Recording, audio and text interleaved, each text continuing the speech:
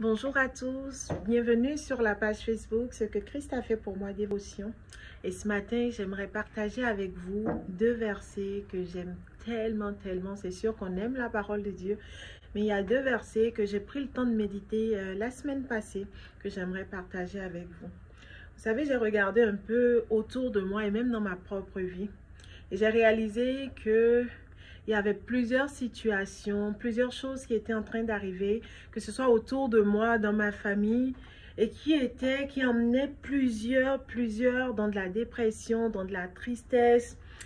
Et je demandais à Dieu en face d'une situation, Seigneur, comment on fait pour garder cette paix dont tu nous parles dans ta parole? Parce que ta parole va nous dire que tu nous donnes ta paix, mais comment on en jouit en face de l'épreuve? Et vous savez, alors que je priais pour ces situations-là, il y a un verset qui est venu euh, vraiment prendre forme. J'ai vraiment réalisé toute la puissance qu'il y avait dans ce verset-là, je connais depuis des années, oui, mais cette semaine, ce verset euh, a pris tout son sens. Et la Bible va dire dans le livre de Philippiens 4, verset 6, « Ne vous inquiétez de rien. » Le verset commence comme ça, ne vous inquiétez de rien.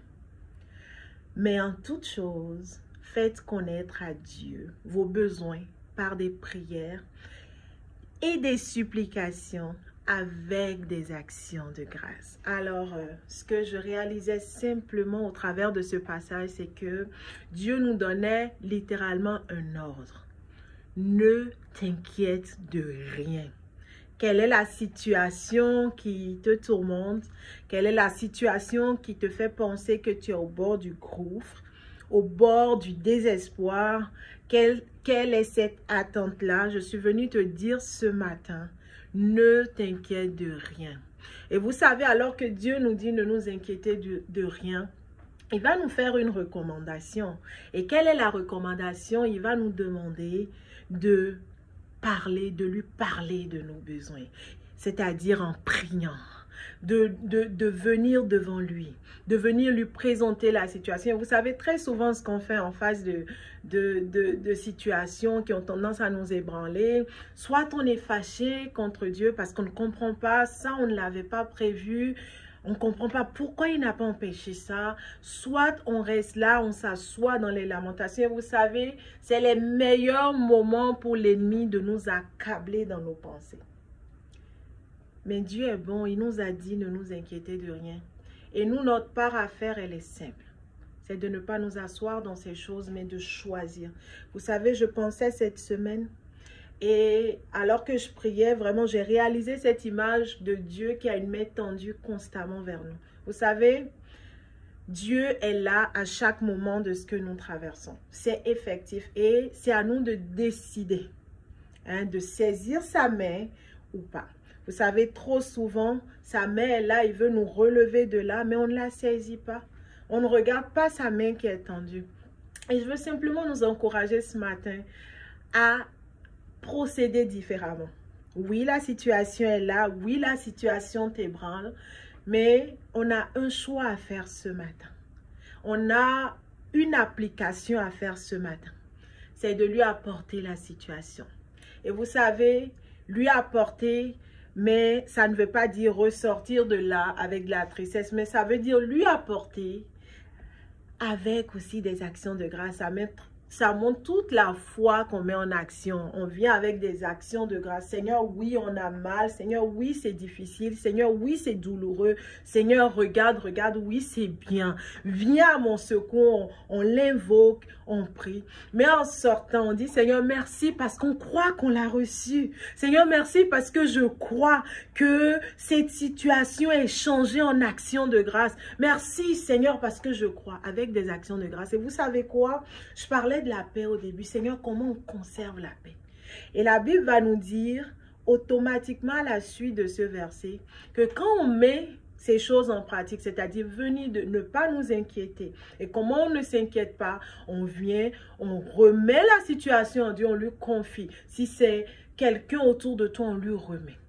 Et alors qu'on fait ça et qu'on lui dit merci parce qu'on croit qu'on a reçu et qu'on met notre foi en action, la Bible va nous dire et la paix de Dieu qui surpasse toute intelligence gardera vos cœurs et vos pensées en Jésus-Christ. C'est alors que on pourra commencer hein, à jouir de cette paix-là. La paix, Dieu nous l'a déjà donnée. Jésus va nous dire justement euh, dans le livre de Jean 14, verset 27, qui nous laisse la paix, il nous donne la paix. La paix, c'est quelque chose qu'on a acquise déjà en Christ Jésus.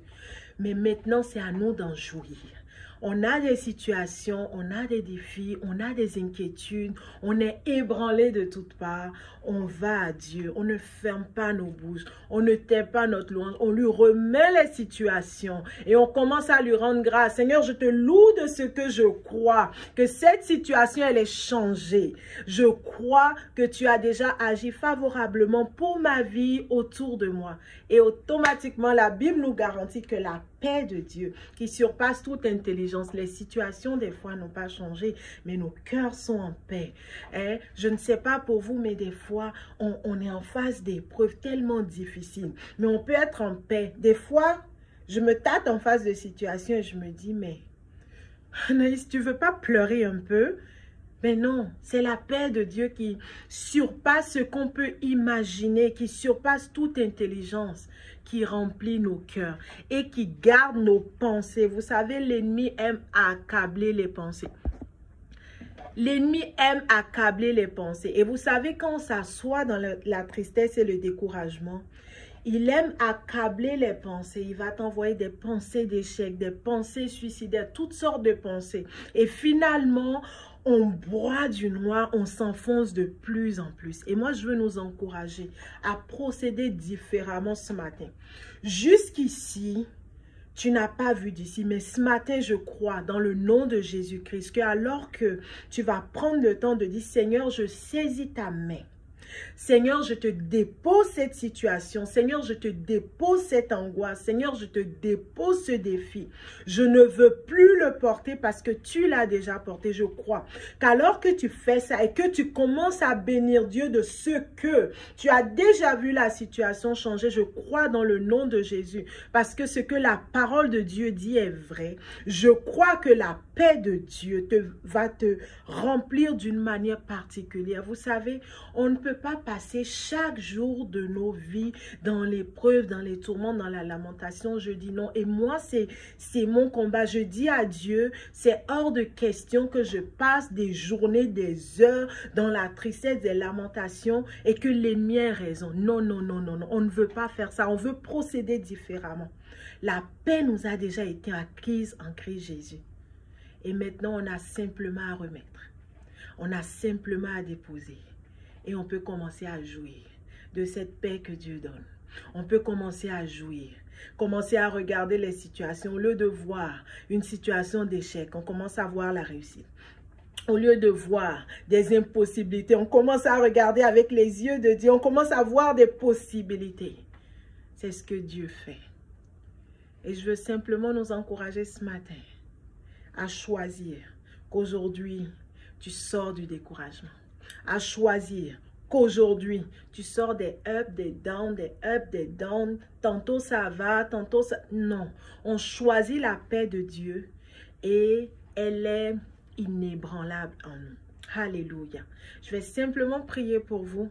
Et moi, je crois que peu importe ce que on est en train de vivre dans le monde actuel, tout ce qui est bouleversement, et je crois que le Seigneur garde chacun de nos cœurs dans sa paix. Je vais prier pour pour chacun de vous pour que ce matin soit un matin différent dans le nom de Jésus. Alléluia. Seigneur, au-delà de paroles, euh, je veux simplement prier ce matin. Seigneur, tu nous as déjà donné cette paix-là. Et je veux prier pour chaque personne qui va écouter ce message, ce, cette petite vidéo ce matin. Je prie que par ton Saint-Esprit, il soit visité. Seigneur, je prie même pour ceux qui n'avaient même pas la force de te présenter ces situations-là.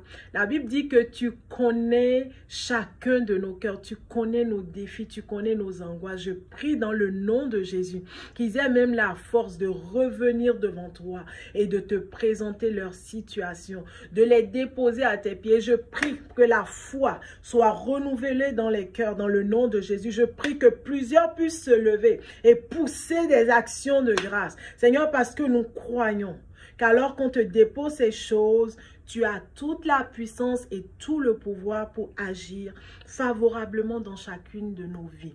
Alors, je te prie vraiment, Saint-Esprit, de visiter chaque personne ce matin. Change la douleur en cri de joie. Change la tristesse en cri de joie. Change l'amertume, change la souffrance, change l'épreuve dans le nom de Jésus-Christ ce matin.